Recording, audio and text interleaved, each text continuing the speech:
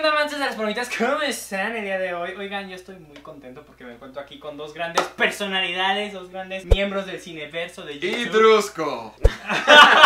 Fue bueno, fue bueno. Eh, Héctor Portillo de Caja de Películas, un placer tenerte aquí. No, un placer. Daniela, un gusto. Y también a el Merlín de YouTube, el señor Drusco. Yo soy Drusco. Resucitando, como ustedes saben, estuvo un poco enfermo. La gente no sabe eso, Ian, pero, frega- gracias, gracias. Casi me por- muero y perdí 15 kilos, Pasó pero... por un divorcio, pero La- volvió. La gente piensa que fue puro gym, pero, pero gracias, Ian. Drusco, este, like con ustedes. Y bueno, el día de hoy nos hemos reunido porque voy a estrenar una nueva sección en el canal que se llama Lo Nuevo contra lo Viejo, en donde hablamos de películas que han sufrido un reboot, un remake, un re-algo. Vamos a hablar en esta ocasión de la película de Spider-Man, Spider-Man Sam Raimi. Y también Spider-Man Homecoming. La y mejor. The Amazing Spider-Man. No, Ian, es tan mala que ni siquiera vamos a hablar de Y ella. también vamos a tener un super concurso para que te lleves un Blu-ray exclusivo con material extra de la película y lo puedes ganar muy sencillo. A lo largo del video les vamos a decir cómo. Así que bueno, vamos a hablar de la película y quiero empezar hablando un poco del actor que interpreta a Spider-Man, en este caso Tobey Maguire y Tom Holland. Sí. A mí la verdad es que siento que Tom Holland hace una mejor interpretación de Spider-Man ya que físicamente Sí. da, la da, la da más. Siento que to- es que mi problema con Tobey Maguire es que se ve muy viejo. No, mira, Tom Holland es demasiado cool. Es como si Héctor Portillo fuera Spider-Man. No. Spider-Man es un personaje como, como uno, ¿no? ñoño, o Ajá, sea. ñoño, nerdo, ¿no? Poco popular. Mira, La realidad es que estás- Tom Holland No, es no, no, demasiado no. cool. Menos que Andrew. eso es la cosa, Sí. no, no, no, no.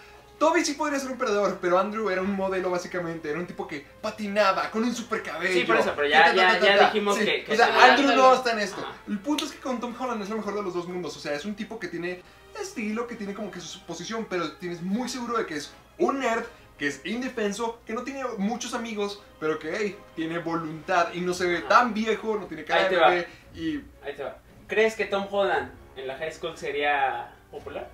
Sí. Sí, obviamente Sí. sería popular. No. O sea, Es sería. que es demasiado hermoso, o sea, No, lo ves no, no. y dices, o sea, Porque demasiado Tom-. Pero físicamente se parece más. Sí, pero Tom, o sea, Tobey Maguire sí logra más el aspecto loser, aunque sea un loser de 30 años. Sí, exactamente. Eso es a lo que voy. Tobey Maguire parece ya un señor, es tu tío. Es, es que sí, Tobey El Maguire... tío se- guapo. Tobey Maguire se ve demasiado viejo, Tom Holland se ve más inocente, no se ve como el tipo guapo, nomás porque ya todos lo tengan considerado como que, Dios santo, Tom Holland es lo mejor porque yo sé que tú lo sigues y siempre te babeas por él. Ajá. Pero ese no es el punto, o sea, Tom Holland incluso como lo ponen de Peter Parker en la película, no tiene amigos, nomás tiene a Ned y lo que hacen los Tiene a la tía May. lo que hacen los viernes por la noche son armar estrellas de la muerte en Lego, que se me recuerda mucho a lo que tú haces. Es Exactamente. que yo siento más patética la vida de Tobey Maguire y siento que ese es el punto, o sea, no por maldad. sino Eso sí, es o sea, desde la tía te das cuenta, ¿no? Como que la tía de Tom Holland Pero está muy acuérdate, feliz. estamos hablando del actor. O sea, tú ya estás entrando al personaje. Pero- en el personaje Sí, en ese sentido sí está bien estructurado. Pero a, a nivel actor, la, la neta es que yo sí se la creo más al Spider-Man que yo conocía a Tobey Maguire. No, yo lo que a Tom Holland. Es que sí, la verdad de Tom Holland me encanta. Tobey Maguire no lo hace mal, o sea, no lo hace mal para nada, pero sí Tom Holland sí. Y además sí. depende mucho de la época, porque en el 2000, 2002 tenían la clásica imagen del nerd de que no tiene a nadie, de que es un perdedor, de que siempre le meten Ahora- el pie. Y ahora lo que tenemos con Tom Hashtag Holland es un Héctor nerd Portillo es moderno. nerd, ¿no? Héctor Portillo. Hashtag nosotros. Me voy, adiós. Tom Holland a mí se me hace mejor en físico y casi todo en personalidad. Pero Estamos hablando- le falta lo patético. Pero es que lo patético yo siento que viene un poco más con la historia, ¿no? Porque está, o sea, Spider-Man Homecoming no desmenuza tanto la historia del personaje como, o sea, Sí. el origen que pues, nos Sí, presenta ya Sam se lo. Eh, Y creo que eso también tiene mucho que ver, porque obviamente sientes más sufrido a, a to- a este Tobey Maguire, porque lo ves, ves cómo se matan a su tío, la abuela ya está a punto también de morir. No, la abuela, güey. Yo, yo le dije a mi, yo le dije a mi mamá, este, me gustó mucho esta película de Spider-Man Homecoming, pero la realidad es que no tiene una motivación fuerte. Este personaje, este Spider-Man quiere ser Spider-Man por ser cool, por ser uno de los Avengers. Es Y que eh, sí ay, ay, es no, eso. pero ahí mismo es donde se saca el, el elemento patético. El sujeto está obsesionado con los superhéroes y es un niño que quiere ser un héroe. Cuando en la escena de la película donde está levantando toda, toda las- la construcción que le cae encima es como, tú eres Spider-Man, vamos, tú eres Spider-Man, tú puedes con esto. O sea, el tipo se ve como un héroe, el tipo quiere ser...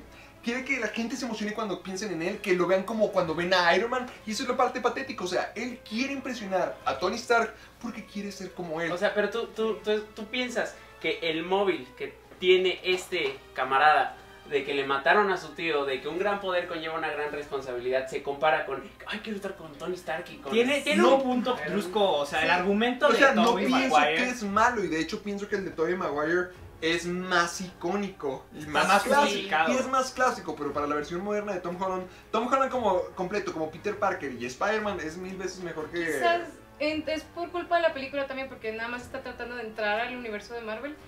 Pero sí es mucho más icónico. de Eso, todo. era lo que, justo lo que iba a tocar ahorita. Eh, sí, como que pierde un poco, ¿no? Todo esto. Al Pero no ver el como que es intencional, o sea, como que no puede brillar tanto Tom Holland porque tiene que encajar. No, y te voy a decir una cosa. Yo lo que percibí es que siento que Tom Holland necesita de otros personajes para brillar, porque él por sí mismo, o sea. Sí. Ahí te va.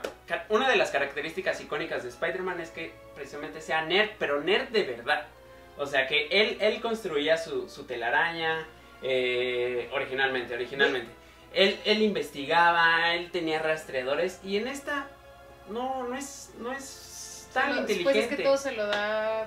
Este, No es tan El amigo de la silla. No es tan inteligente, él crea varias cosas de su traje y lo Pero mejora de varias, varias maneras, lo hackea y tiene control de él, No, mientras no que... hackea. No, él no lo hackea, lo hackea el amigo No, de la pero silla. también lo El de ayuda. El amigo de la silla. No, Sí. también los dos están al mismo nivel intelectual y además, sí, Tony Stark le puede dar el traje completo, pero Tobey Maguire lo único que hizo es coser su traje y además ya tenía esto. Él realmente no crea muchas cosas de la manera Sí, eso sí también le doy. Sí, lo- Sí, pero- lo, me- sí lo ponen como el nerd inteligente porque es el, prof- es el alumno favorito del, del Dr. Connors.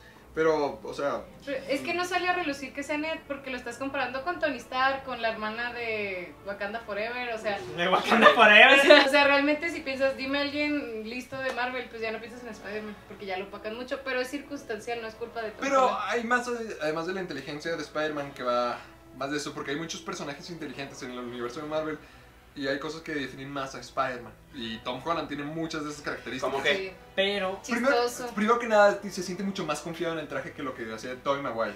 Pero es que la cosa es que Spider-Man 1, la original de Sam Raimi, tiene todo el tiempo del mundo y darle todo el poder a Spider-Man de ser el, el héroe principal, mientras que el héroe de Homecoming es solamente una parte más de este gran universo de Marvel, no la principal, pero sí una muy Sí, importante. es que eso y sí. aún así no necesita a los demás personajes para brillar. De hecho, tiene, puede tener amigos, puede tener aliados, pero Spider-Man por su cuenta tiene las mejores escenas. No. Y esperen muchísimo. No, pero las mejores escenas las tiene, por ejemplo, en Infinity War.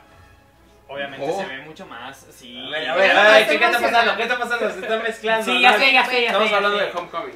Pero bueno, este, algo que sí va a ser un poco más complicado incluso que Spider-Man, yo creo que es el villano, ¿no? William Defoe. El Duende Verde es uno de los villanos más icónicos que Spider-Man ha te- ha tenido porque es parte de nuestra niñez.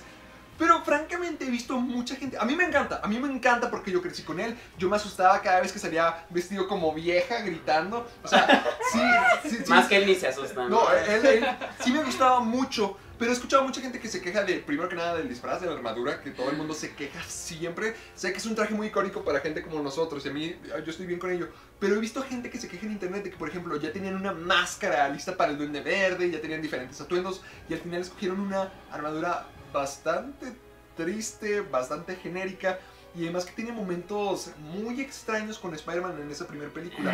Te ofrecí mi amistad y me escupiste la Sí, Pero o, ahí- o cuando de la nada están hablando en el techo, como que, sí, así es la vida, Spidey. O sea, es como que, qué extraño.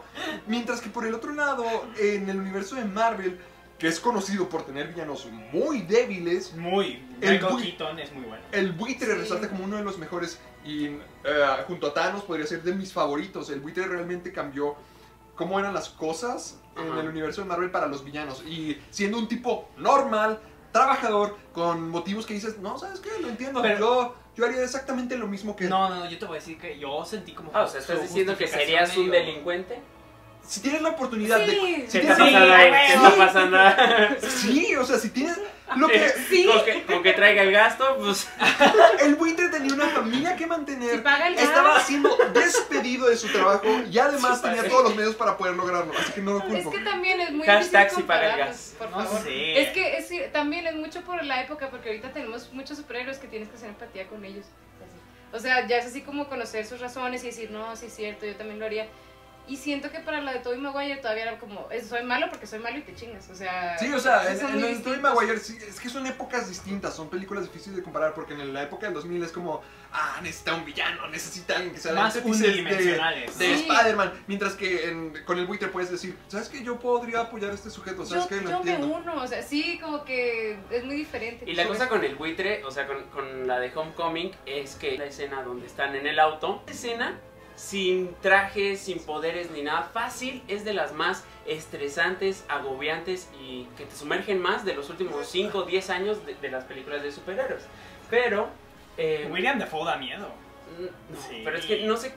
A cómo está construida esa escena, la verdad no se Yo, compara. yo vi A ese Home- punto sí se lo doy a Homecoming. Yo vi Spider-Man Homecoming tres veces y cada vez que iba a la sala, siempre que revelan que el papá de Liz es el buitre. ¡Ah! Sí. ¿Qué?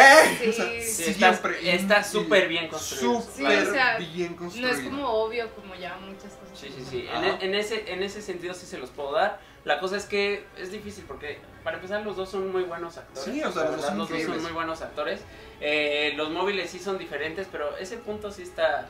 No, sí, no, definitivamente el Duende Verde se siente mucho más plano. Es que también estamos comparando dos clases de villanos distintas Sí. de diferentes épocas, por lo cual tenemos que comparar, por ejemplo, a, no sé, al Guasón de, de Batman del 89 al Guasón del 2000, ¿qué? ¿10? 2008, 2008. pero ahí O te sea, estamos hablando de diferentes épocas, de diferentes villanos, donde a nosotros tenemos que decidir qué nos interesa ver más, el clásico Pero es que es sujeto o un sujeto que tiene Es como que, un punto sí, moral. Y para mí, con Martina, me gusta más lo moral. sí. El punto aquí es que em, sí, sí, yo siento que como película, o sea, Spider-Man Homecoming se me hace muy buena, pero como es historia de Spider-Man, la de... Todavía es más Tobey, icónica, ajá, está es más más icónica. padre. Es más Para icónica, empezar, sí, se ve el cambio de la industria. El- al final el duende muere. Y aquí... Y hay sangre en la pelea y en esta es como agüita. Pero no hay sangre, Agüita. no se muere. O sea, yo me estresé mucho porque creo que tiene poquitas heridas Tom, pero no hay sangre como Sí, la sí, otra. sí, sí se ve ya la mano tajante de, de de Disney, la sí, verdad. Disney, Sí. En el sentido de no tanta violencia y no me vas a matar al villano porque queremos hacer eh, los seis siniestros. Pues, bien bien Y- podría existir Mm. toda la violencia, bien puede existir toda la sangre, pero hay veces que cosas como la ética, la moral del personaje, las, la profundidad de su personaje y sus intenciones y motivos pueden superar cualquier escena de acción porque termina siendo un personaje más interesante. El guasón no tiene ningún momento... Sí tiene momentos aterradores que de Sí, hecho no se ven como la escena donde mata al sujeto de que y voy a comenzar desde ahora y te aterra. Desde que empieza Pero no tiene ningún, Sí, no tiene tantas escenas de acción donde él sea como que ah peleando y lo Sí, pero ahí demás, te va. sino que la gente lo recuerda por sus conversaciones. Sí, eso sí. Pero eh, al final también, o sea, estás hablando de una de las mejores, si no es que la mejor película de superhéroes de todos los tiempos. Y el mejor villano también, o sea, Sí, no es cualquier. Pero, Yes. pero o sea, no es ahí te va, ahí te va. O sea, se, se muere la novia de Batman al final de, de esa película. Es más brusca, o sea, si Sí. se muere, luego el guasón. Es oscura, es una película oscura esa. Ajá, no, no lo terminas entendiendo. Realmente el guasón nunca Sí. lo comprendes. Ahora te voy a decir una cosa, para ser el buitre, o sea, el buitre no es un personaje tan conocido al público, a lo mejor y para nosotros sí que nos gusta, pero Michael Keaton, o sea, sí hace un buen villano, o sea, de un De villano la quizá no nada, tan pero sí es Y al final de cuentas no se morirá, pero Marvel, el universo Marvel siempre mata a todos sus villanos y todos se quedan como que, "Ah, otro villano desperdiciado. Aquí no lo matan y además no, las cosas no salen bien. O sea, Spider-Man no se queda con Liz, Spider-Man no es- tiene su final feliz. Liz se va, su familia está manchada, se va a la cárcel su papá, o sea, no es un final Que media hora feliz. después ya empieza Infinity War y le dan el Iron Sí, Spider, ajá, pero... y aparte se vuelve un vengador, o sea, Pero, y aparte, no te pesa bueno. nunca que se vaya la niña porque es como, pero ahí está Zendaya. O sea, nunca piensas, ay, era el amor de su vida. O sea, Que por cierto le dicen MJ, ¿no? MJ. Me llamo sí. Roberta, pero me dicen MJ. Me dicen MJ porque... y ahorita que están hablando un poco de los amoríos de Spider-Man, ¿cuál es el mejor? Emma Ah. Stone, Emma Stone se lo lleva. Pues es que Ah, no sí. hubo- Sí aquí- puede entrar Emma, aquí sí, porque ya... Ok, aquí, aquí- Emma Stone aquí sí entra, porque Lo Emma Stone es muy único bueno en la saga de Amazing Spider-Man, la, la relación entre Peter y, y Gwen Stacy. Sí, no, la verdad es que Emma Stone hace... Pero porque ya anduvieron en la vida real también, entonces... Sí. Pues ya tenían Porque química, es no encantadora. O sea, ya tenían O química. sea- Ah, bueno, a Mary Jane de las primeras películas siempre la tienen como la tipa en peligro, la del mesera. Y pues sí, pero no sé, hasta. Es que todo lo de Spider-Man de la primera saga, vamos a decir, es icónico. Porque crecimos con ellos, porque es lo único que tiene tres películas, porque lo recordamos enormemente. También me gusta que se muere, porque también de Uh, repente sí, la, Mary la Jane única buena escena de era Spider-Man como 2. que están, ju- están juntos y luego, no, ya no, y luego me voy a casar con un astronauta y luego no, si te Sí, amo, eso y siempre estuvo, eso siempre estuvo muy confuso como de la nada. Dice, voy a casarme con un astronauta Y luego es como que voy a correr con mi vestido de bodas. Cuando no, siento que la relación entre Gwen Stacy y Peter Parker funcionaba bastante bien y bastante linda. Y además la muerte de Gwen Stacy es la única escena buena Está de Amazing. Spider-Man 2. Bueno, el punto es que, entonces, conclusión, eh, mejor villano, eh, Michael Keaton. Podemos decir que Michael Sí, yo Keaton que sí. contra William Dafoe, que William Dafoe no hace nada mal su trabajo. No, para nada, pero se me hace mucho mejor. pero es mejor Michael Keaton, sobre Pues- todo porque es un personaje que construyó de la nada, ¿no? Sí. Y este también tenemos como mejor romance a Gwen Stacy, esta este, señorita Sí, Emma Stone. Emma Stone. Sí. Y ahora en cuanto a la historia, la historia en sí, la historia, yo creo que ahí sí se la lleva Sí, la de Sam la- Raimi. Sí, Sí. la de Sam Raimi. Las películas de Sam Raimi tenían la libertad de hacer Si lo que sido quisieran. solo esta, o sea, se acaba súper bien. Y si solo me dejaran de No, que no se acaba súper bien, esa tercera película estuvo malísima. No, no, Por sí, eso, o sea, solo fuera la una. Ah, ah, O sea, sí. si fuera no, la esta- 2 es muy buena también. No, sí, pero pero, si no acabara. estuviera dirías tú, ok, se acaba muy padre, se acaba muy trágico. Pero si veían solamente Homecoming, yo sí diría de que, ah, caray. Se entiende que eh, las de Spider-Man original tenían más libertad de hacer lo que ellas Y quisieran. no extraen como eso en los superhéroes de Marvel. Que cada una tenga como su propio... Que sea su propia cosa, yo como no. las de Yo- Batman. Ajá, como las de Batman, era lo Yo que no. iba a decir. Yo, Yo sí, no. yo Yo sí, sí. porque, porque llega un punto en Yo que también. dices, este, ok, está bien. tan Una buena grande el si tuvieran una fórmula. Sí, poquito. No, deja tú la fórmula, o sea, quieres como algo diferente, ¿sabes? A lo mejor y me gustaría para la película de Black Widow que tenga un tono mucho más oscuro, donde sufra ella, en donde y Y se pueda pero ajá, pero es como dice Marvel, entonces ya no se puede porque no, rompe con el estereotipo de. Disney.